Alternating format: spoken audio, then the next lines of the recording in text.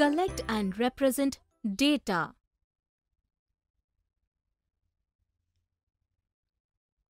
Hey Bubbly, what are you doing? Bunty, I have 10 marbles. I am trying to find out how many marbles of each color are there. Come on, let me teach you an easy way to find that. Teach me. Today, in this video, we will learn about collecting data and representing it in a table. Bubbly, first of all, you have to make group of same colored marbles. First group of red colored marbles, second group of yellow colored marbles, and third group of green colored marbles. Well done. Now create a table like this. Then Now you have to write the names of the colors red, yellow and green in the column color of marbles. what do we have to do next? Now we have to count the number of marbles in each group. There are one, two, and three red marbles in the first group. One and two, two yellow marbles in the second group. And one, two, three, four, and five green marbles in the third group. Now we have to write these numbers in the table. Yes. Now in the column count of marbles, we will write 3 beside red color, 2 beside yellow color and 5 beside green color. Well done, Bubbly. You represented the data very well. Data? What is that? Making groups of similar objects, counting the number of objects in the group and filling that information in a table is called data.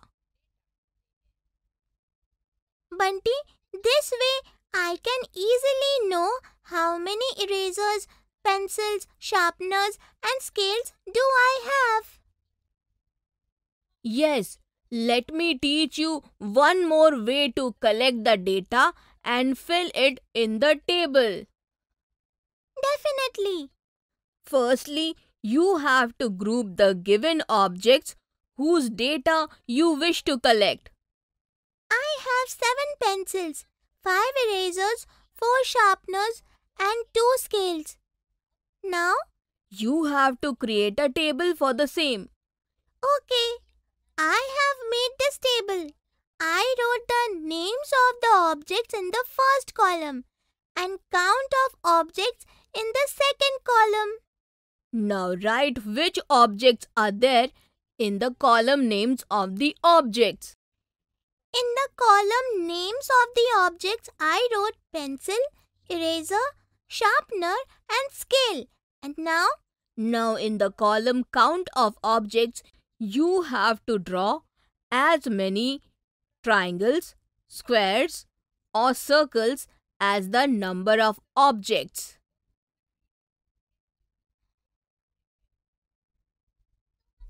so we will draw triangles to fill the table.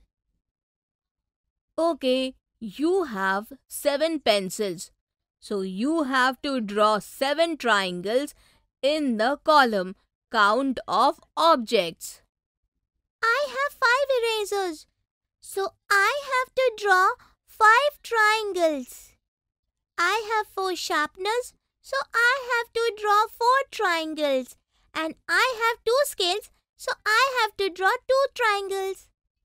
Absolutely right. Well done, Bubbly. Oh wow! It is very interesting. Friends, in this video, you learned about collecting data and representing them in a table. In the next video, we will see some more examples of collecting data and representing them in a table.